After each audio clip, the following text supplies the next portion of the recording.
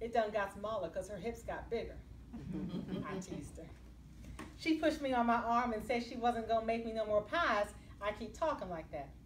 It wasn't the first time she joked about it, but still made us both laugh. I told her I'd play the fiddle at night and build furniture and caskets during the day. She asked me if I was gonna stay working for Master John. I ain't want to work for nobody except myself if I can help it. She laughed. Well, I hope you know they ain't gonna let no black man be his own boss. I ain't say nothing about that because I ain't want it to be true. But I know she been right. I can make most anything Master John can make, and by the time I'm all the way a man, I'm gonna be just as good. I'm doing what you said, Mama. I'm learning all I can. I be in the room when he talking to those men sometimes about what he want. We go pick up wood and materials, and I'm in the corner. Sometimes I hear them making that business talk, making deals and negotiating. It ain't that hard, Mama. But will they listen to you? Negotiate with you? You ain't a white man. White men is the only ones white men will listen to. Trust me, Mrs. Shelley got to go through the women to sell to men because they might listen to their wives. Some, but they ain't going to listen straight to her. When I'm free, mama, I'm going to have my own stuff. I'm going to make my own money and I'll make it so I ain't the only one. She looked at me with eyes full of pity.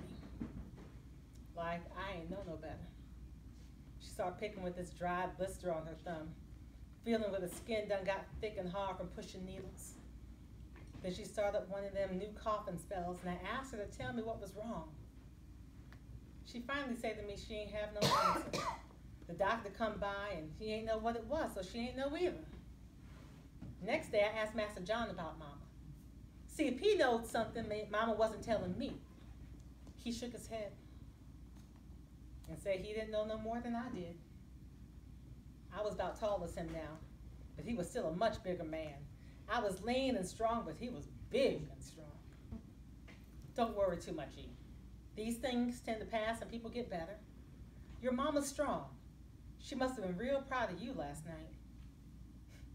Yeah, she was. Couldn't stop talking. He laughed and said, Nobody missed you on that fiddle. Master John stopped cutting this piece of wood for a bit and looked me square in the eye. E, you are good. Good enough to play for other people. Now, I know a lot of white folks don't like it, but I think it's all right for a man to earn something of his own. Just like it's important for a family to know each other. Those things are important. You listening to me, E? Yes, sir, I said back. Now, after last night, I'm thinking we have some opportunities farming and woodwork and Charlotte's lessons, those things bring in a decent living. But we can actually make some money and not just spend. You following me, E? No, sir. I said, being honest. I ain't know the difference. we ain't rich, E. You know that. Some folks have lots of land and slaves and don't have to work as hard as we do just to make a living. That's not us. We're simple folks. We work hard for what we have, but we don't have extra. Pretty soon you won't be able to fit my hand-me-down shoes and my pants. Will be up past your ankles the way you keep growing. You eat like a man now. You coming along like a man and work like a man. Means you need man stuff. He seemed fine with talking about me becoming a, a man when men was free. I was a slave and that means I can't be a man. I ain't say nothing but looked at the piece of brown leather on that board I was stretching. I brushed it. Some cow give up its life for that piece of leather to sit on that board so that we can make a chair and somebody could sit on it. That was the way things was. Some people give up their lives for other people's enjoyment. Mm-hmm. Master John, I finally said after he started back to work, yeah, I can't be a man, sir. No matter how big and strong and grown I get or how much I eat or work, I can't be a man. He looked at me then. I ain't looked back. I studied that piece of leather though. There wasn't nothing much more I could have studied. I tightened the pins and make it straight. I smoothed it under my hand. I taked up one of the seats we cut yesterday and started sanding it. He ain't said nothing yet. I wonder if this was the thing to finally make him mad. In all the years, I ain't never seen him get angry because enough to really scare me. But that silence, I didn't want to look up his way finally peek out the corner of my eye while I turned the seat to work on another side. He was standing there, his back to me. like he was thinking real hard and just wasn't sure what I meant or what to say. I was about done standing that chair him when he finally said something. Why do you say that, Ye? Master John, you know a slave can't be a man.